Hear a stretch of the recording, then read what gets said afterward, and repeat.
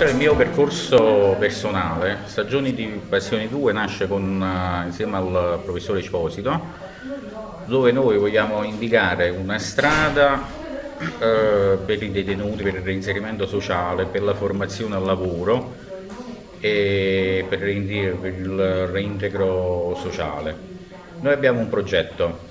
Che tipo di progetto? Allora, noi abbiamo un progetto uh, che abbiamo fatto insieme al professore Esposito e praticamente vogliamo portare i detenuti all'esterno, costruire, costruire, una rete eh, reale, vera, di collaborazione tra eh, gli operatori del carcere e gli operatori, eh, quelli che sono del comune, gli assistenti sociali, in modo che l'assistente sociale ha eh, una realtà del proprio cittadino detenuto in modo che quando esce già sa le problematiche e quindi sa eh, le caratteristiche e i percorsi fatti interni, quindi lo può inserire più facilmente.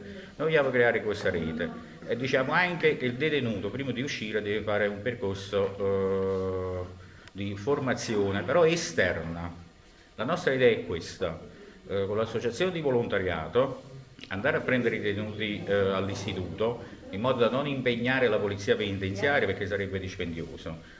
Eh, portarli in, uh, sul posto in un'associazione, fargli fare del volontariato, in modo che il volontariato eh, gli fa avere quell'empatia con la sofferenza e, e, quindi capire anche le problematiche eh, sociali eh, delle persone svantaggiate. In più fare formazione presso un istituto eh, tipo formazione spendibile però, tipo una qualifica OSA eh, o altre qualifiche che li possono eh, inserire realmente. La differenza dove sta? Perché questi corsi si potrebbero fare anche internamente, però internamente al carcere cosa succede? Succede che il detenuto non si inserisce, rimane sempre all'interno, invece all'esterno già prende, eh, diciamo che fa un uh, percorso già di inserimento e anche di eh, proposta lavorativa.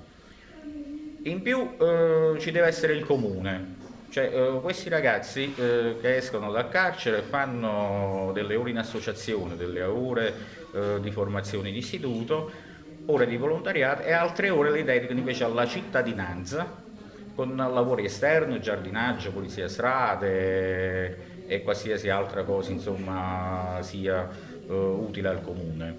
Questa è la nostra idea di inserimento del detenuto, prima del fine pena perché se si arriva a fine pena, il detenuto viene abbandonato, cioè praticamente arriva, esce dal carcere, eh, magari si presenta all'assistente sociale del comune, l'assistente sociale del comune gli dice vabbè ma io cosa posso fare, mica ho il lavoro, mica faccio l'ufficio collocamento.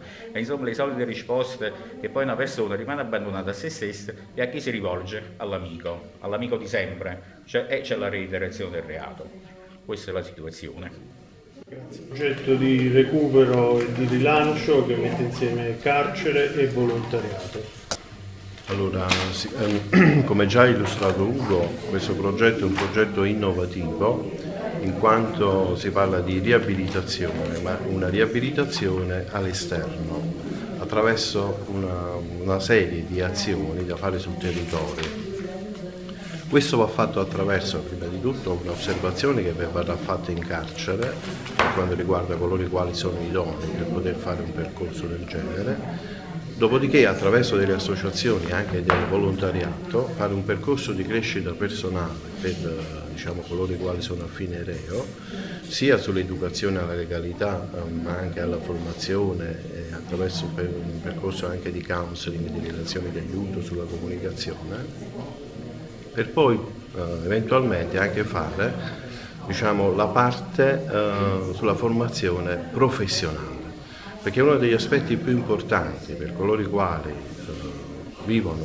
diciamo, questa situazione di disagio è che la maggior parte ha un tasso di scolarizzazione bassissimo e non hanno eh, una qualifica professionale. Il fatto di eh, fargli fare la formazione all'esterno e fargli conseguire una qualifica professionale gli permette poi inserimento all'interno di cooperative sociali o di strutture eh, in rete sul territorio. Certo sono azioni da fare in rete attraverso i servizi degli assistenti sociali, con i comuni, con gli enti, con il carcere, con le cooperative sociali, associazioni di volontariato È un qualcosa che noi abbiamo sperimentato Ugo rispetto a tutta una serie di azioni anche di vari sportelli sociali, dove abbiamo anche seguito altre persone e, eh, ed è un'azione di successo, nel senso che è un discorso di buona pratica, è fattibile ed è eh, anche diciamo, realizzabile ed è l'unica strada. Perché immaginate che all'interno del carcere, quando io ho insegnato anche all'interno del carcere, molto spesso gli educatori sono pochissimi e ci troviamo con una popolazione di 400-500 detenuti, tra cui anche un solo psicologo e non può sicuramente seguire il tutto. Poi c'è un altro problema che c'è uno scollamento tra il territorio, i servizi sociali del comune rispetto alla popolazione anche eh, detenuta e quindi può capitare che un detenuto dopo un certo periodo di anni ritorna nel proprio comune e tra l'altro i servizi sociali del suo comune non sono a conoscenza eh, diciamo, di questa persona, delle sue problematiche. Quindi costruire un progetto di reinserimento o meglio per il reinserimento dei eh, detenuti che passa attraverso un coinvolgimento attivo della società. Da legale come vede questa idea? Chiaramente da legale non posso che approvare perché sostanzialmente da legale ritengo che il problema più grave per i detenuti non è certo il sovraffollamento che è l'unico problema che sembra attanagliare secondo l'opinione pubblica e le strutture amministrative penitenziarie i detenuti, ma sostanzialmente il problema dei detenuti è ben altro. Il detenuto fa un percorso di assistenza all'interno del carcere, percorso che non deve assolutamente spezzarsi ma che deve continuare necessariamente all'esterno all'interno, onde prevenire la reiterazione. In effetti si è dimostrato che quando il detenuto ha un passaggio assistenziale anche all'esterno della struttura carceraria si riduce di gran lunga, circa il 60%, quella che è la reiterazione del reato da parte degli stessi, per cui credo che il discorso di assistenzialismo deve essere necessariamente migliorato e abbattuto. convegno particolare l'avvocato Rosaria Verde che ha voluto che io partecipassi e grazie veramente siamo uniti da micro di amicizia che vista nel tempo in cui ero giudice al Tribunale di Avellino, quindi c'è un rapporto di stima reciproca e di apprezzamento, so quanto zelo profondo nelle sue cause e il suo modo di lavorare.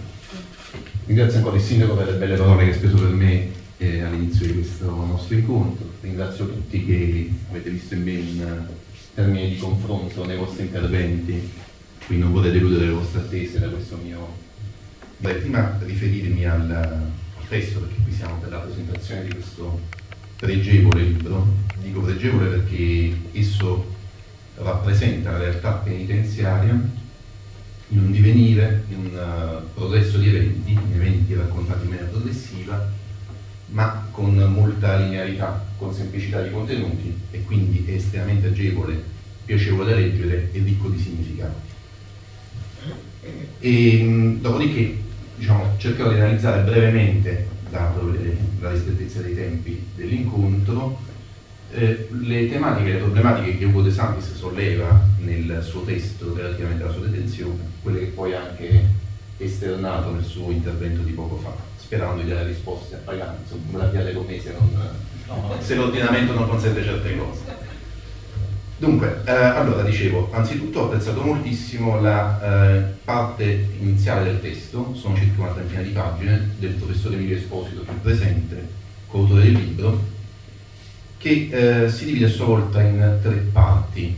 La parte iniziale è sul volontariato, cioè gli spiega con parole semplici ed efficaci che cosa consista il volontariato, facendoci riflettere su espressioni che spesso consideriamo di routine semplicistiche, ma che tali non sono, tipo per esempio che il volontariato è eh, la spendita del proprio tempo per altri in maniera gratuita ed altruistica, tale da consentire una funzione che può essere di eh, triplice portata. Egli parla di una funzione educativa del volontariato, che è collegata quindi alla gratuità, al donarsi agli altri, si sofferma sulla funzione poi, diciamo, di tipo culturale del volontariato, perché attraverso il volontariato si conoscono meccanismi anche di governo, di struttura, di settori della vita pubblica che altrimenti non, si, non sarebbero accessibili al comune cittadino.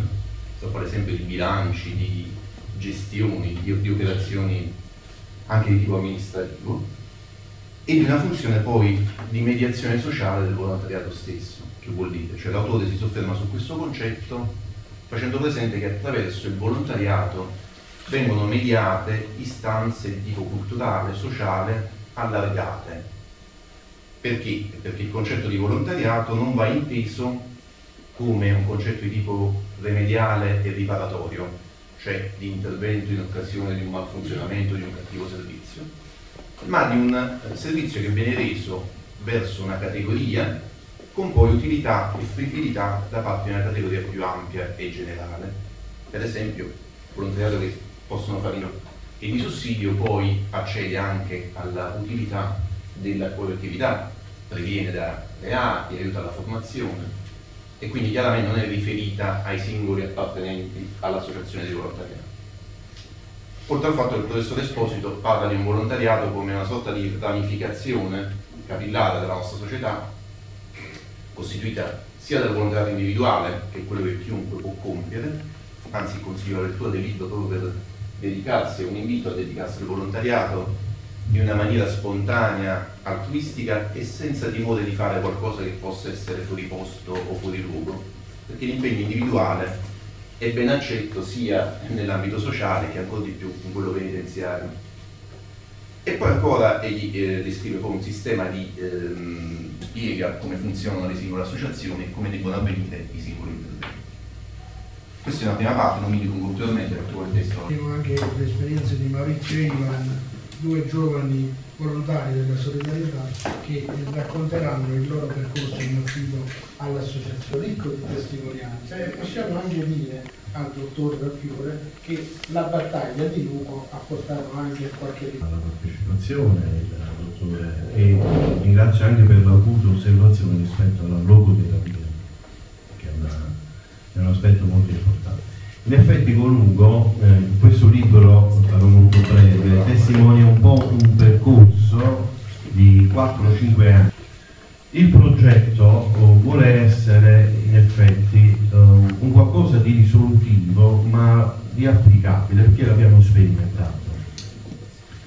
Io ho insegnato anche in carcere e spesso uh, il, la difficoltà, essendoci pochi educatori, un solo psicologo per 400-500 persone, immaginate un po' anche avere dei colloqui e come diceva il dottore il, il discorso del trattamento. No? Quindi molto spesso un detenuto per avere già un primo colloquio ne passano dei mesi e se ci sono problematiche poi di depressione, di, di difficoltà eccetera eccetera, voglio dire il sostegno lo trova all'interno, se è fortunato, della cella. Però io ho, ho sperimentato che i ragazzi, le persone, io ho insegnato in alta sicurezza, stavo su un corso al Belpietro, uh, avevano una grande voglia di apprendere, ma... E poi dietro non mi si vede. allora, io sarò veramente molto molto rapida. Uh, la prima cosa che voglio fare, ed è doveroso, voglio ringraziare veramente tutti quelli che hanno reso uh, possibile questo evento. La prima cosa, chiaramente voglio ringraziare il sindaco e uh, la città di Montoro che ha immediatamente insieme con l'assessore Guariniello accolto questa mia richiesta e quindi di ehm, creare questo evento oggi. Chiaramente ringrazio i miei compagni di viaggio che sono Ugo eh, ed Emilio, eh, ringrazio per le parole di stima e ehm, di apprezzamento professionale e personale che sia il sindaco ma soprattutto il dottore Mario Fiore che io ho eh, voluto fortemente a questa manifestazione per un rapporto veramente di grande stima e poi siamo espressione insomma anche del territorio montorese per questo evento. D'altronde poi il dottore Mario Fiore voglio dire ehm, è un esperto della materia perché noi oggi essendo magistrato di sorveglianza chiarisce. Il libro, il libro di Ugo praticamente, ah voglio ringraziare anche Adelina Caliano, infaticabile, ottima partner nell'organizzazione e quant'altro. Fatta questa fase di ringraziamento io sarò molto molto molto rapida.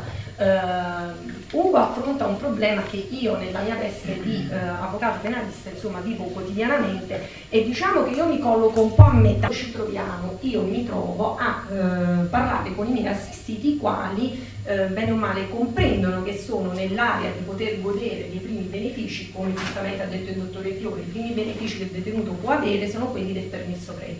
Il permesso premio diventa una sorta di anticamera a quello che poi sarà il periodo che il detenuto può passare in affidamento esterno come residuo di espiazione pena. Chiaramente la concessione del permesso premio è indicativo di una condotta positiva che il detenuto ha all'interno della struttura carceraria. Ciò che spesso si accompagna al diniego purtroppo di questa possibilità è eh, l'informativa esterna, la famosa informativa esterna intesa sia come tessuto sociale dove il detenuto in realtà deve andare a collocarsi, che solitamente dal principio siccome io sono detenuto sono... Pietri che stasera ci, ha, ci ha concesso di stare qui, di portare la nostra testimonianza. Io parto come affidato, arrivo alla solidarietà grazie ad Alfonso Sessa che mi prende in affidamento per un anno. Cioè per, stavo ai domiciliari però avevo la possibilità di andare là tre giorni a settimana. Dai tre giorni sono passato ad andare anche quando non mi toccava stare in, in associazione perché si era creato un gruppo dove io ero manutentore finito questo anno il 15 giugno mattina io ho la proposta proprio dal presidente dalla mia responsabile del Ferre Sposa che mi ha seguito durante tutto il percorso di affidamento dove loro mi hanno pregato tanto di indossare questa divisa che adesso porto con tanto onore perché mi sono levato anche delle piccole soddisfazioni di vita, di cuore dando una mano a chi purtroppo stava per lasciarci la pelle e sono rimasto con loro. E da quel giorno è un anno che io sono un volontario 118 della solidarietà questo grazie a loro che io non sapevo neanche di avere questa passione che loro mi hanno fatto nascere dove ho aiutato tante persone, dove mi sono trovato a fare emergenze che non erano niente, dove a vedere cose che io fino a qualche anno prima vedevo tramite la televisione. Però questo è solo per dire ai ragazzi che diciamo, vanno in affidamento. Sono partito come manutentore, pittore, idraulico, facevo quello che c'era da fare in associazione. Però vi ripeto, grazie al Presidente che qualsiasi cosa io chiedevo, lavorativa, mi veniva concessa, basta che lo faceva e ne, ho sentito sempre la sua presenza, il suo fiato sul collo, come un papà, diciamo, e la mia responsabile, Esposito lo stesso, mi hanno trasformato in un piccolo soccorritore, umile. Questo è tutto, vi ringrazio e ringrazio